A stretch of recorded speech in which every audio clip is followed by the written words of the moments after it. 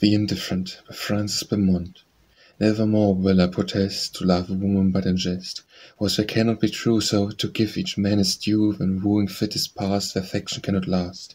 Wherefore if I change to meet With mistress fair and sweet, She my service shall obtain, Loving her for love again. Thus much liberty I crave, Not to be a constant slave. When we have tried each other, If she better like another, Let her quickly change for me, When to change am I as free. He or she that loves too long Shall have freedom for his song.